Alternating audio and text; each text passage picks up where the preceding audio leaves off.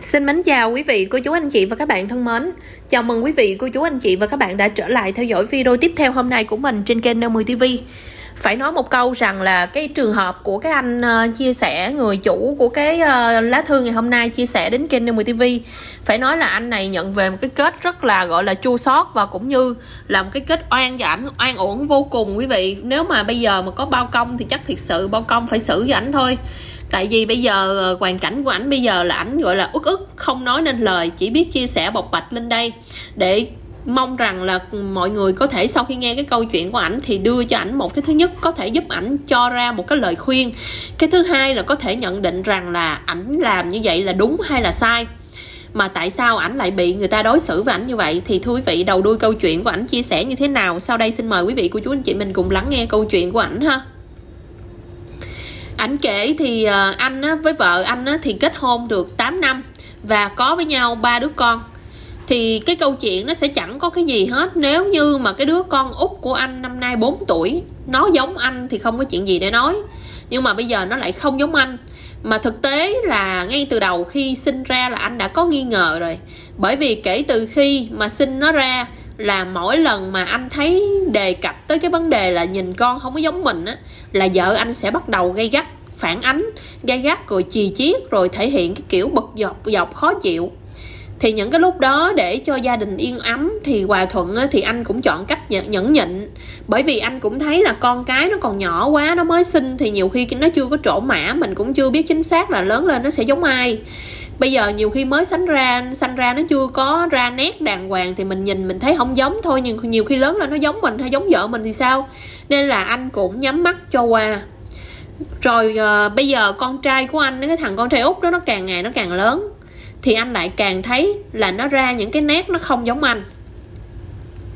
Chẳng hạn như là anh tóc anh không có bị xoăn nhưng mà cái thằng con trai út lại tự nhiên bẩm sinh tóc nó lại xoăn. Rồi chưa kể là cái da của anh á, là da ngâm nhưng mà không hiểu tại sao cái thằng út đó nó lại da rất là trắng. Anh không thể nào mà không hoài nghi được. Thêm một phần nữa là tính theo cái ngày sinh tháng đẻ của thằng con trai đó so với cái tháng mà vợ anh báo tin vợ anh mang bầu thì rõ ràng là cái thời điểm đó là anh đang không có ở cái tiểu bang này mà anh đang đi qua tiểu bang khác. Và anh không có nhà anh phải đi công tác thì lúc đó vợ anh nói là, vợ anh sanh xong rồi vợ anh nói là cái thằng con đó của mình sanh non, tức là sanh sớm. Nhưng mà anh thấy cái biểu hiện của con mình nó không phải là sanh sớm. Bởi vì là khi mà con sinh ra đó, mọi thứ nó đều bình thường. Bác sĩ người ta cũng không nói là con sinh thiếu tháng. Thì không thể nào mà anh cảm thấy anh vẫn trong lòng anh càng ngày những cái nghi ngờ càng ngày nó cứ ùa tới ùa tới mỗi ngày một chút một chút. Và anh không thể nào sống yên được với cái sự nghi ngờ đó nó làm cho anh ảnh hưởng đến mức mà mỗi tối anh ngủ, anh nằm mơ, anh cũng thấy vợ anh ngoại tình nữa. Cho nên anh cảm thấy là giống như cái vấn đề đó, nó là cái gai ở trong mắt của anh, gai ở trong lòng anh. Mà nếu không gỡ ra thì anh sẽ bị nó, bị cái gai đó mỗi ngày đâm một chút, đâm một chút và anh sẽ bị ảnh hưởng tâm lý nặng nề. Nên cuối cùng anh mới quyết định là lén lút ẩm đứa con 4 tuổi ẩm thằng con trai 4 tuổi đó của anh đi xét nghiệm ADN với anh thì cái kết quả nó rất là hải hùng, đó là nó làm cho anh chết đứng khi mà cái thằng con trai đó của anh anh nuôi nấng nó suốt 4 năm qua. ADN đưa ra cái kết quả nó không phải là con của anh, hai người không có match với nhau. Thì ờ, để đối mặt với cái sự thật phủ phàng của vợ mình, đồng thời là muốn có một cái lời lời giải thích rõ ràng từ vợ mình, thì anh mới quyết định là hẹn vợ một cái ngày hôm đó để mà hai vợ chồng nói chuyện với lại ba mẹ đẻ của vợ luôn, tức là hẹn gặp mặt có ba mẹ đẻ của vợ luôn. Rồi ba mặt một lời mình nói chuyện với nhau để xem thử coi vợ tại sao lại cấm sừng mình. Thì ờ, vẫn như những cái lần khác, vợ của anh á, mỗi lần vừa nghe vợ chồng mình đề cập tới cái vấn đề là con không giống mình, là bắt đầu vợ anh bù lu bù lo lên. Nào là mắng, nào là chửi anh, rồi nào là trách móc anh, nói anh là anh không tin tưởng thì khi mà cái lần này cũng vậy, khi mà trước mặt ba mẹ của cổ thì cổ cũng bắt đầu bù lu, bù lo lên, cũng mắng mỏ anh y như vậy. Thì anh tức quá, anh mới móc cái tờ giấy kết quả xét nghiệm quan hệ cha con ra, đưa thẳng vào trong mặt của cô vợ anh. Và cũng như là trước mặt ba má vợ, cho ba má vợ tự nhìn, tự biết. Thì lúc đó vợ anh lại không chịu thừa nhận, mà còn mắng nhiếc rồi ờ, nói là anh hãm hại cổ. Nói là anh ờ, làm cái tờ giấy ờ, kết quả đó là tờ giấy giả mạo. Rồi bắt đầu là đánh trúng lãng. Nói qua cái chuyện là hai vợ chồng sống nhau có ba mặt con rồi mà chồng không tin vợ. Đó rồi bắt đầu cổ đòi của tự tử cổ nói là bây giờ à, chồng ở với cổ mà anh ở với em mà anh không tin tưởng em vậy thôi em không sống nữa bắt đầu cổ làm trận làm thượng lên như vậy. Thì khi mà cổ vừa khóc, cổ vừa chửi bới, cổ vừa trách móc, lúc đó thì ba mẹ của cổ mới bắt đầu mua, đi lại cầm cái tờ giấy mà kết quả ADN định xem. Thì lúc đó cổ bắt đầu lao vào cầm cái tờ giấy kết quả xé xé cho nó tan nát cái tờ giấy kết quả, xong rồi còn cầm cái điện thoại di động của anh để mà dứt xuống đất, rồi đạp lên cái điện thoại đó cho nó nát bét luôn. Thì cuối cùng, lúc đó ba mẹ vợ thay gì là sẽ nghe lời của con rể mình nói nhưng mà ba mẹ vợ lại binh vợ và nói rằng là anh là cái người không có thương vợ mà lại còn nghi ngờ tầm bậy tầm bạ trách móng tránh mắng vợ một cách vô tâm. Mẹ vợ còn nói là anh á, bây giờ chắc là có bồ bịch bên ngoài rồi cho nên anh muốn về anh bôi tro trét trấu anh muốn bôi xấu thanh danh của con gái ông bà đó, là ba mẹ vợ binh vợ và nói anh là bây giờ là một cái người xấu xa, bị ổi như vậy. Thì anh không phải là người đôi co qua lại, anh cũng không phải là cái kiểu mà đàn ông mà tánh đàn bà mà thích đôi co. Cho nên anh cũng không thèm nói nữa. Cuối cùng, anh khẳng định là mình không có làm giả kết quả. Và anh nói với ba mẹ vợ và vợ là bây giờ nếu không tin thì cứ tự đem cái thằng con nó ra đi xét nghiệm lại một lần nữa là sẽ biết thì lúc đó ông bà mới thấy là phản ánh gai gắt quá thì hai giờ, ba người không còn cãi nữa. Lúc đó vợ của anh mới bắt đầu chịu thừa nhận cổ chịu thừa nhận nhưng mà cổ vẫn cứ lấp liếm rằng là do thời gian qua anh lạnh nhạt với cổ cho nên là cổ mới uh, buồn. Anh không kiếm được nhiều tiền anh không biết giúp đỡ vợ anh không tâm lý anh không cái này cái kia. Cho nên là cô cổ đau lòng cổ mới xa ngã và cổ mới là sai lầm để mà quen biết một cái người đàn ông mỹ trắng khác thì lúc mà anh anh nghe ờ, trước mặt ba mẹ vợ và ảnh và chồng mình, vợ ảnh thừa nhận hết tất cả tội tội lỗi. Thì lúc đó ba vợ cũng bắt đầu dịu giọng thuyết phục với con rể rằng là, thôi kệ đi con bây giờ dù sao á, vợ của con nó cũng sinh ra thằng con trai kháo khỉnh. Và nó cũng đẻ cho con hai thằng, hai đứa con con trước là đều con ruột của con mà. Thì bây giờ đứa thứ ba này dù sao con cũng nuôi nó 4 năm rồi. Bây giờ không có, không, bây giờ không có tình cảm cho con thì cũng coi như là có tình cảm rồi. Con cứ rộng lòng tha thứ cho con gái của cha đi cho dù bây giờ ly hôn tái hôn nó cũng không có dễ dàng gì cho nên thôi bây giờ hay là bỏ qua cái chuyện này rồi hai vợ chồng tiếp tục sống với nhau để gìn giữ gia đình. Thì lúc đó ba vợ lại khuyên anh á, là cố gắng sống với con của ông ấy. Thì nghe tới đó bắt đầu anh không có nén nổi nữa. Quý vị anh tức quá anh mới nói là anh thở dài xong rồi anh mới nói thẳng với ba người luôn. Cái thằng bé nó không phải con của tôi và thời gian qua 4 năm qua là tôi bị dắt mũi và tôi phải nuôi cái thằng bé đó là con của người ta. Tôi đã đủ khổ sở rồi thì bây giờ không có lý do gì mà để có ai ai đó ép tôi, cưỡng chế tôi phải tiếp tục nhẫn nhịn mà nuôi nó nữa.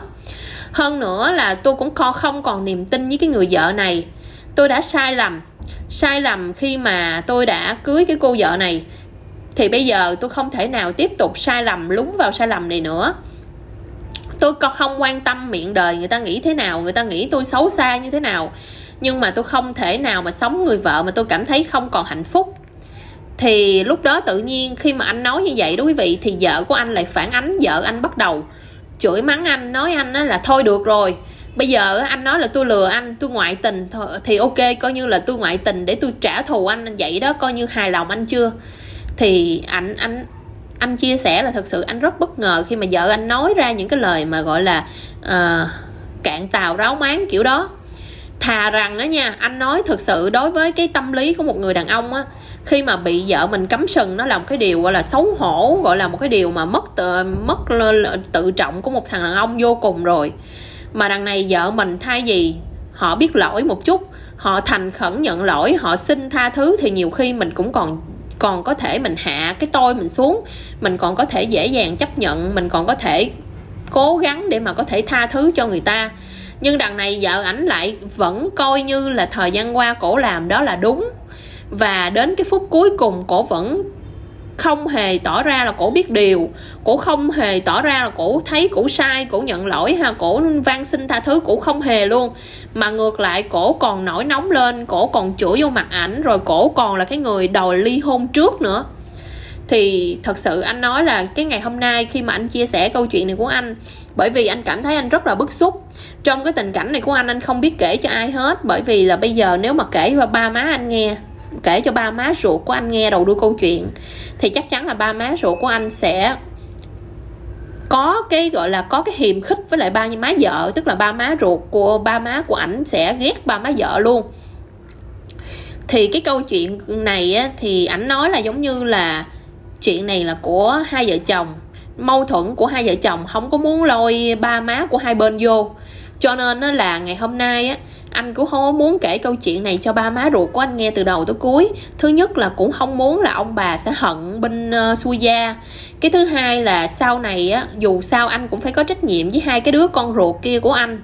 Thì bây giờ nếu mà anh làm căng quá rồi ba má anh thù quá thì mai mốt hai cái thơ, hai cái đứa cháu nội kia không biết ba má anh còn thương như bây giờ hay không. Đâm ra đó là anh cũng không muốn kể đầu đuôi câu chuyện để ma má anh phải hận còn uh, bây giờ anh cũng không dám kể cho bạn bè thân thiết gì nghe bởi vì sợ bạn bè nó sẽ cười vô mặt là khi mà mình bị vợ mình cấm sừng mà 4 năm trời mà mình không hề biết. Mà ngược lại bây giờ chia tay mình còn bị người ta nói là mình bị ổi vô liêm sĩ nữa thì sợ rằng là bạn bè người ta cười chê nên là anh không dám kể câu chuyện này với ai.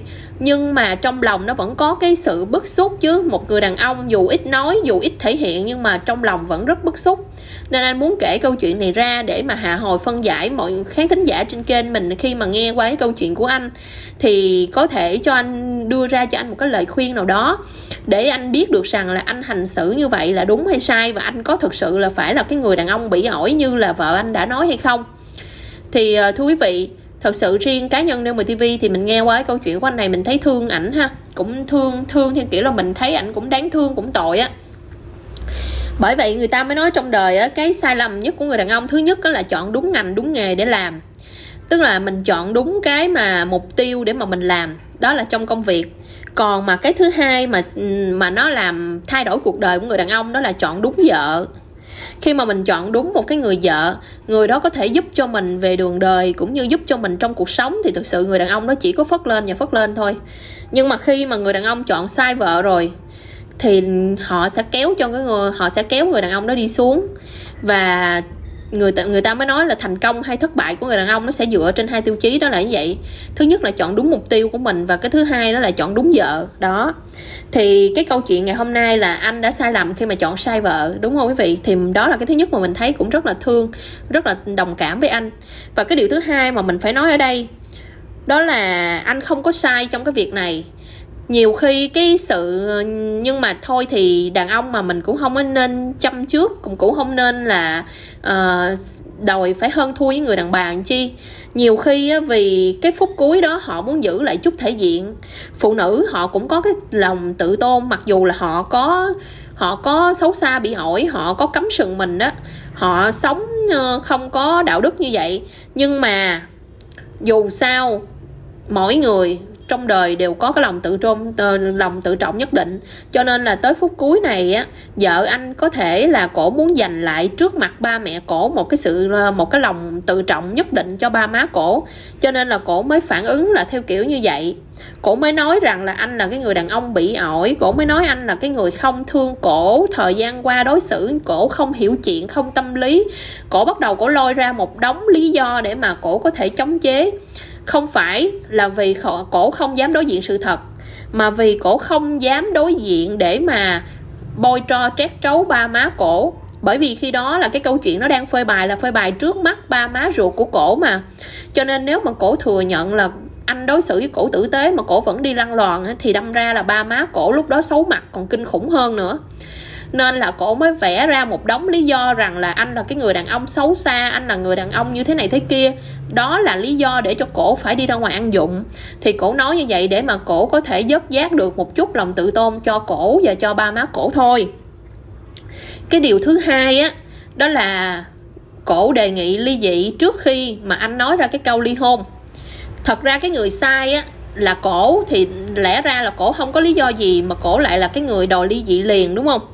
Nhưng mà cũng chỉ vì nôm na là cũng chỉ vì muốn giữ lại cái lòng tự tôn đó em nói đó tại vì uh, nếu mà bây giờ để cho cái người chồng mà mình ăn ở mình sanh ba đứa con mình sanh hai đứa con cho ảnh bây giờ mà ảnh nói một câu á giờ tôi ly dị cô tôi sống cô hết nổi rồi kia nói những cái câu như vậy thì nó phủ phàng quá. Thì thôi thà là những cái câu phủ phàng đó để cái cửa miệng của mình mình nói ra thì mình đỡ chua xót hơn là so với cái người bạn đời nói với mình đúng không? Cho nên cuối cùng là cổ mới chọn là cổ là cái người chủ động hết tất cả nó là như vậy. Nhưng thật ra sâu trong lòng là cổ biết được là ai đúng ai sai trong câu chuyện này. Đó thì thôi bây giờ mình cứ gác lại những cái câu nói của vợ mình khi đó. Thứ nhất là vì trong lúc nóng giận quá thì uh, họ người ta nói người ta không có suy nghĩ lời ăn tiếng nói. Cái thứ hai là cũng như em vừa phân tích cái đó là cũng chỉ vì là cổ muốn bảo vệ cái tôi của cổ và gia đình của cổ thôi. Thì thôi mình cũng thông cảm cho qua mình đàn ông mình cũng chăm trước mình đừng có mình đừng có ờ, chi ly quá làm chi từng lời ăn tiếng nói của vợ mình thì à, bây giờ dù sao hai người cũng không thể nào ăn ở chung với nhau được không thể nào hàng gắn được sớm hay muộn thì bây giờ cũng phải là ly hôn thôi. Thì bây giờ đã ly hôn rồi là coi như gần như là chỉ còn dính líu ở hai đứa con chung thôi còn ngoài ra là không còn dính líu gì nữa. Thì bây giờ mình còn đặt nặng cái vấn đề là cái suy nghĩ của vợ mình đối với mình như thế nào chi nữa? Mình đâu còn sống chung với cổ đâu mình suy nghĩ vậy chi? Thì thôi bây giờ hai người coi như là buông tha cho nhau để mà hai người có thể hạnh phúc ha thì cái câu chuyện ngày hôm nay trên 10 TV thì mình có một số những cái ý kiến chia sẻ như vậy và mong rằng có thể là thứ nhất khích lệ tinh thần anh trong thời điểm này và cái thứ hai là có thể giúp cho anh giải tỏa một phần nào đó những cái khó khăn trong lòng. Đến đây thì à, rất mong cô chú anh chị mình sau khi nghe qua cái video này mình có thể cho anh một số những cái lời khuyên hoặc là những cái chia sẻ nào đó để giúp anh ờ, có thể là tìm ra một cái ờ, một cái ờ, góc nhìn nó tươi vui hơn, nó tích cực hơn trong cuộc sống. Đến đây thì ờ, tạm dừng cái video hôm nay. Xin chào và hẹn gặp lại quý vị, cô chú anh chị mình ở một video kế tiếp.